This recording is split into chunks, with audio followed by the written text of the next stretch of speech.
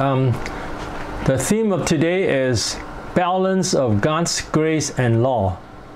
Uh, this is a very important uh, teaching, and I hope that um, you all learn it well. That this is very important uh, for our Christian life and for uh, training other uh, people.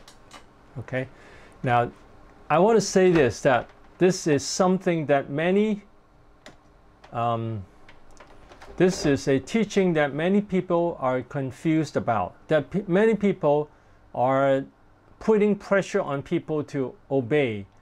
Uh, they put pressure on themselves to obey. Many people live uh, actually under the law, under pressure. They say that I have to do this, I have to do that. And uh, now I want to obey God but my motivation is from God's grace. So it's very important um, that we understand the difference. Okay, so uh, I'm waiting, uh, I'll explain more that balance of God's grace and law, that uh, this is a very important teaching that we can discern God's help for us. We can we should discern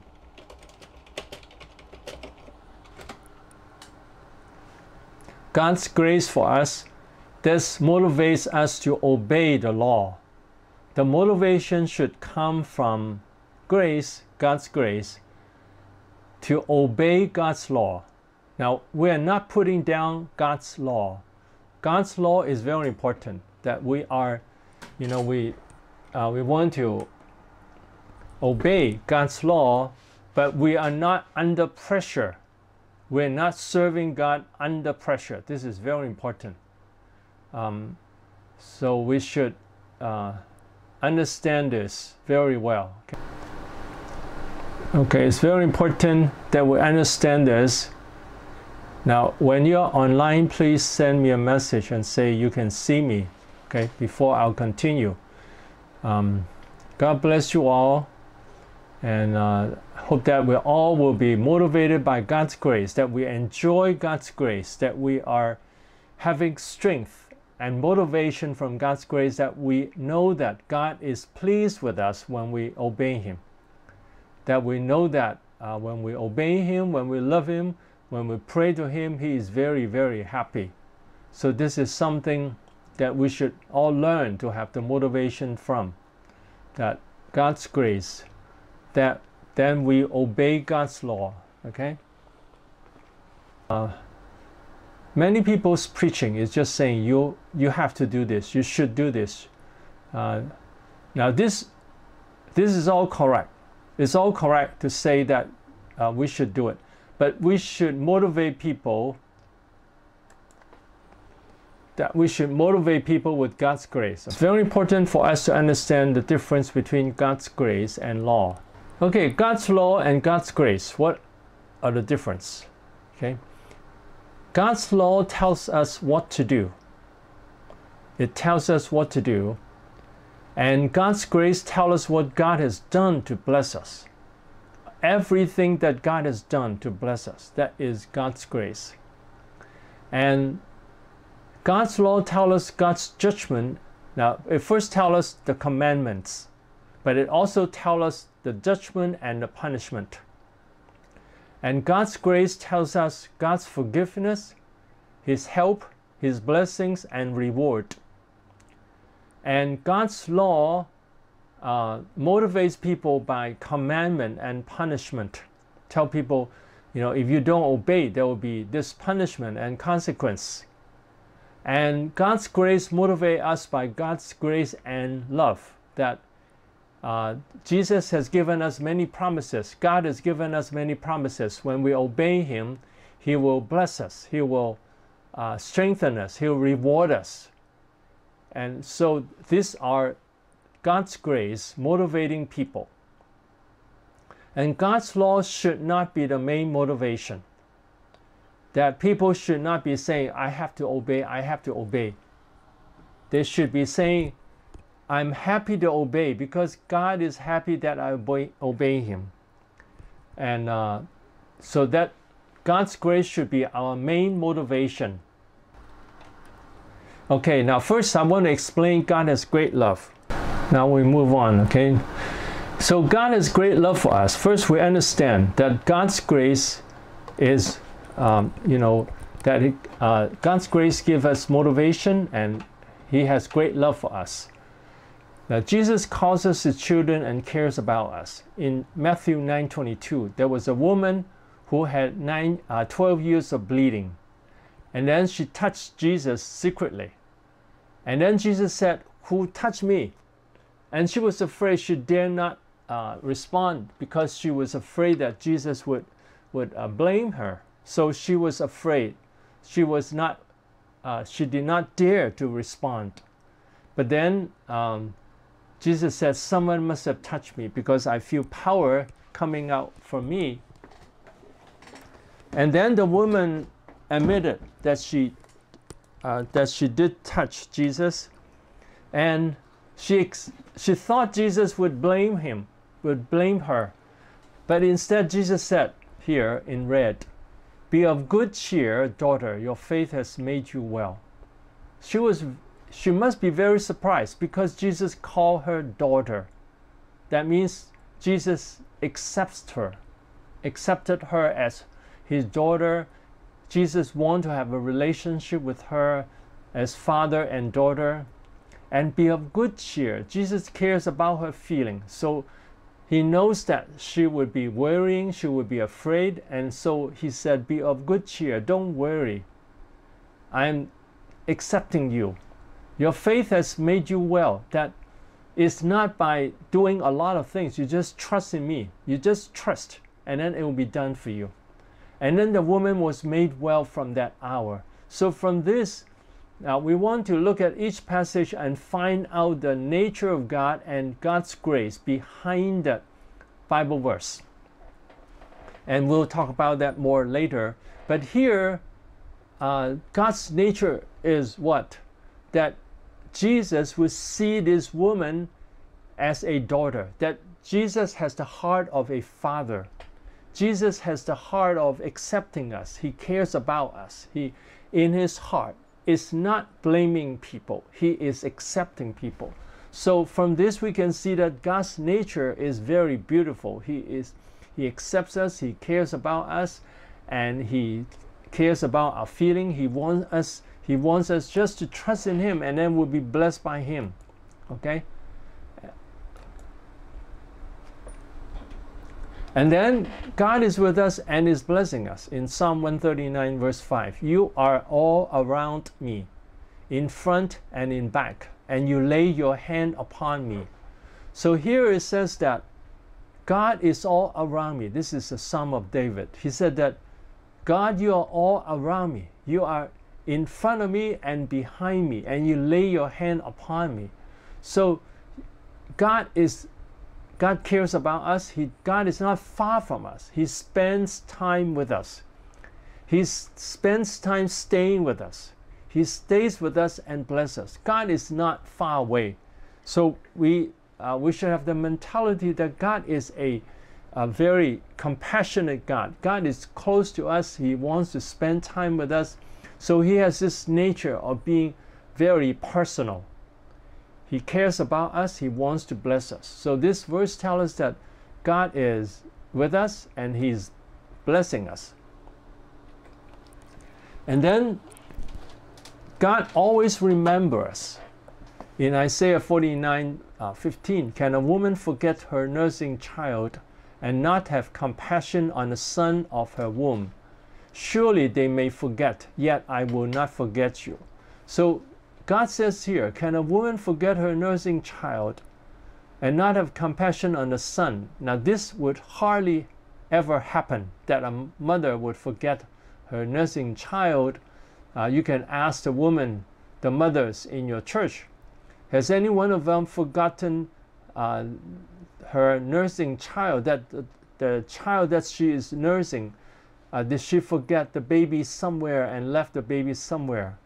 Now, she might have forgotten her umbrella or her, uh, uh, uh, something she has brought with her, but would she ever forget her nursing child? No, she would not. Now, even if they may forget, I will not forget you. That's how God is. He remembers us all the time. So God is very close to us. He remembers us all the time. He he cares about us all the time. He knows our needs. He wants to bless us.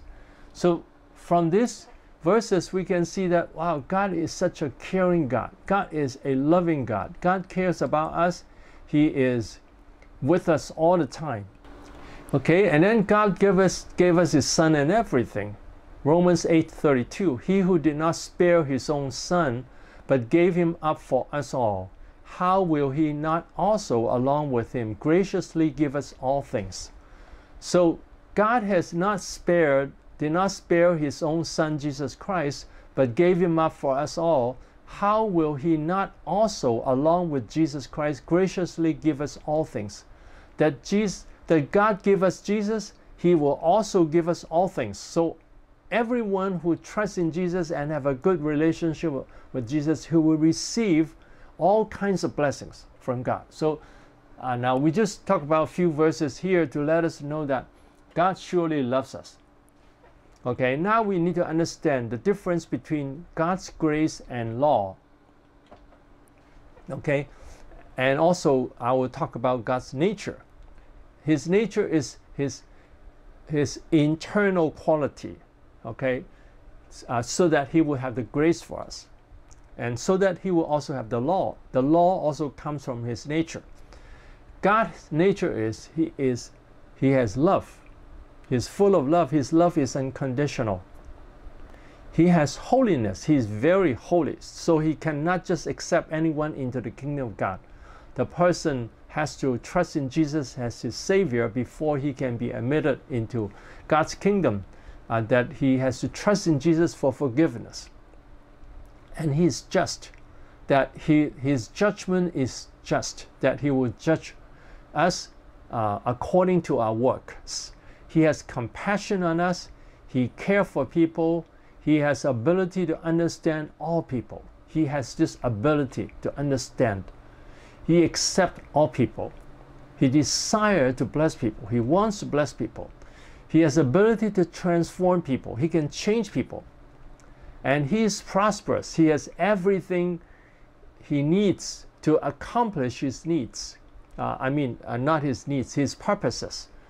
In order to uh, accomplish his purposes, he has all everything he needs. He owns all the resources and blessings. He owns all the resources and all the blessings. He's almighty. He has all the power, omnipresence. He's present everywhere. He is all knowing. He knows everything. He has foreknowledge. He has knowledge ahead of time what is going to happen. He is perfect in every area. And he has ability to control everything. He owns all authority. He has all authority he is wise, he is creative, he is selfless. He put down himself to care about us. He, uh, Jesus put down himself to care for us. And even God, he uh, put down his, his almighty, his uh, sovereignty to humbly bless us. That's his selflessness and his self giving and his ability to plan. He planned the perfect plan for us and he manages everything. So these are his wonderful nature. So uh, we will talk about that when we talk about preaching. That we want to talk about the good qualities of God so that people like God, so that people are motivated by God's nature and His grace. Okay, God's grace. Grace means what uh, His blessings to us, what He does to bless us. Okay, so God's grace for us, what God does uh, to accept us, love us, bless us, help us, strengthen us, reward us. So God does everything He can to accept us as His children, accept us as we are. He loves us, uh, He blesses us, He helps us, He strengthens us, and He rewards us. So God does a lot of things in order to accept us. He sent His Son to die for us. He clothes us with His righteousness. He gives us strength. He blesses our life.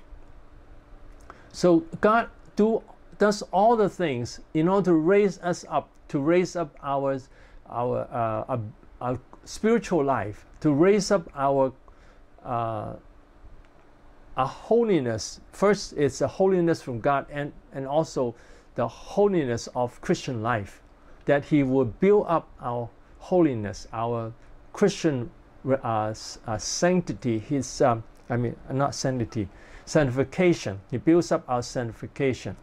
Okay, God's grace includes His salvation. He saves us. He loves us. He accepts us. So these are His action. Grace is His action. Nature are, is His quality, His internal quality. His action, He saves us, He loves us, He accepts us. Uh, he, he a wonderful plan in our lives. Now, the quality of God is that He can plan. He can plan. That is His quality. And His action is He, he planned a wonderful plan for our life.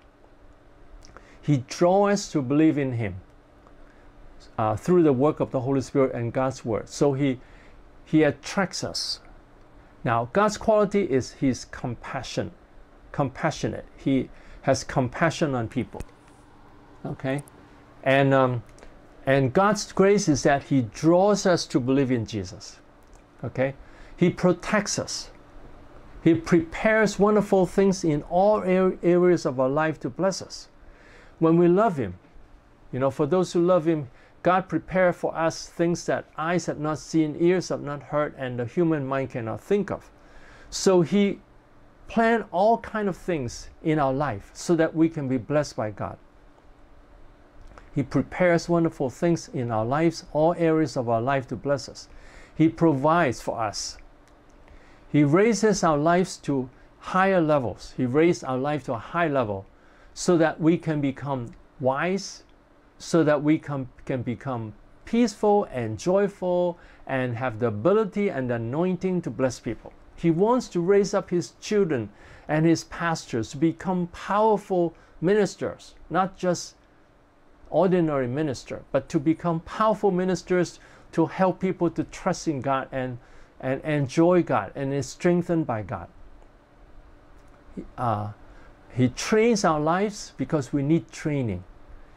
Now, I, my teaching, I thank God for my teachings that, uh, you know, God took a long time to teach me all these teachings. He took a long time that uh, since I became a Christian, He took a long time to train me, to build up my, my uh, ability to teach, teach and train other people, and providing opportunities for us to serve Him and bless other people. So He give us opportunity when we love Him and serve Him. I thank God that He has given me this global fire missions ministries that I, and then we have people donating that we can help different countries. I've been a missionary to 15 countries, and I have been doing uh, li a live broadcast to uh, some African pastors to train the pastors to do better. And I'm doing ministry training in Hong Kong too. So I thank God for the opportunities that he has given me, and He will give you the, uh, those opportunities too if you trust in God. Okay, and He remembers our good deeds. Whatever we do for Him, He remembers, and He will reward us, and He will give us heaven, and so on, and many other things, and many all the blessings. So these are God's grace for us. Okay, God's nature is His inner quality, and God's grace is what He does for us. Okay? So uh, let me go through some of this. Um, now, God's inner quality is His love. He has love inside Him. And His grace is He loves us. I use an illustration. There are many people in the world who has a lot of love. There are a lot of mothers who have a lot of, lot of love, but they don't necessarily love you. They love their child the children, okay? So they have the quality of love, but they don't necessarily love you. So for God, he has this quality of love. That's his nature. And he loves us, each one of us. That is his grace, his action. Okay? So God is powerful. That is by himself. But he also gives us his power so that we can serve him with power. And also God give us um, the, um, the ability to bless other people. And he strengthens us. He, he gives his power to strengthen us. So that is his blessings, his grace. So I hope you understand this is very important. Actually, uh, you should take notes of some important concepts that he has power, that is his nature, and he gives us power so that we are strengthened, that is his grace. And he gives us power to bless other people, that is his grace. Okay, planning. God has ability to plan, that is his nature. And then God plans wonderful things for us. That is His grace, what He does for us. So, nature is what His inner quality, and grace is what He does for us. Okay? Uh, so, He has ability to change people. And then He changes people. Changes people is His grace. His ability to change people is His nature. He has ability to change people. Okay? So, we should all understand the difference between God's nature and grace. Now, if you don't understand anything, you can ask me. Now, here I put down the difference between God's grace and God's law. And God's law, I dis- divide into two areas. One is what we do, the commandments, okay? And then warning. The law also has warning.